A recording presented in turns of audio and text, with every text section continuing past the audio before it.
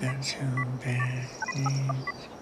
You don't get to see the vagina birth of your only child because I could not figure out what codec use and I compressed the video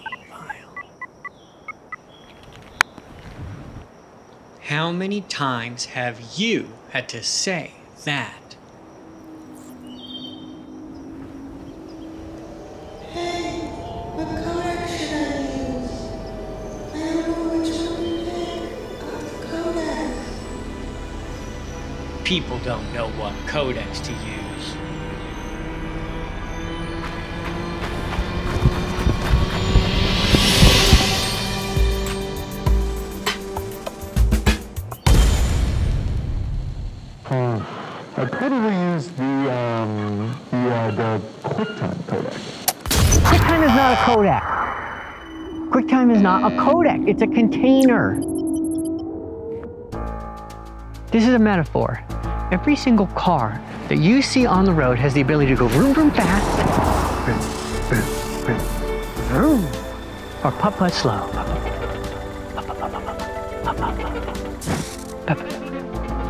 The speed of the car is determined by who determines the speed of a car? I just want a simple question. Who determines the speed of a car? The driver. Duh. The codec drives the car. Is your codec a race car driver? Or is perhaps somebody asleep at the wheel? What do codecs do? No one's ever asked me that. No one has ever asked me that. Codecs allow us to say very complicated things very quickly. Here, I'll give you an example.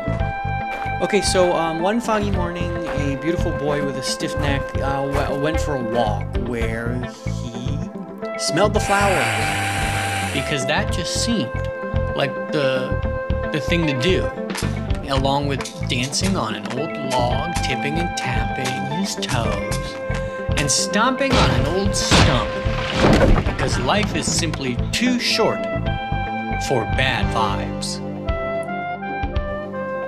Or, said more simply, boy walk. Hey, do you have way too many horse photos? You can't, you don't even know how to steal, know what to do with them all? Well, with a codec, you might only need just one. Why do people use codecs? Okay, that's actually a very stupid and ignorant question. That's like asking why do we shoot our enemies with guns instead of just walking over to them and handing them the bullets. Hey, shut up, shut up. Do you know who invented the codec? George Lucas. But there's one person who refuses to use codecs. JJ. JJ. Okay, let's talk about iframes. Iframes are very interesting. When you're talking about MPEG compression, you're going to inevitably talk about iframes. There's iframes, and then there's P frames, and then there's B frames. And so with an iframe, iframes is basically just JPEG compression. Iframe, iframe, iframe, you have a couple of those, but in between you have P frames, which, which are just looking for the differences in the horse photo. And then you have B frames, which interpolate from I to P or P to P. So I, B, B, B, P, P, no, I, P, B, B, B, B, B, P, I. And everyone's always mad at me. It's, it's something inherent in my personality that makes people mad at me. But I think I'm actually doing quite a good job. We're really talking about co co cosine transforms or quantization. Quantization is when many of the coefficients are one, you're gonna quickly flip those and make those a zero. And that gives us the added benefit of turning your sine wave into a square wave. And of course, this is gonna help everyone with your stupid little video project because it's going to save on bitrate. And what's more important when you're making a dumbass video than bitrate?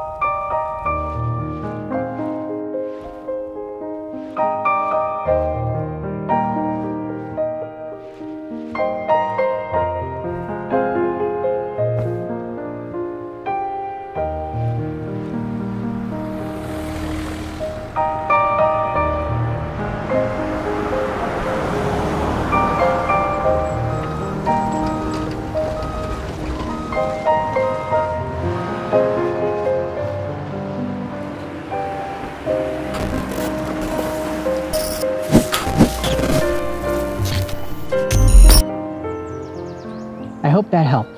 If you're still not sure which codec to use, just use uh, ProRes when you're editing, and maybe H.264 if you're going to upload it to the internet.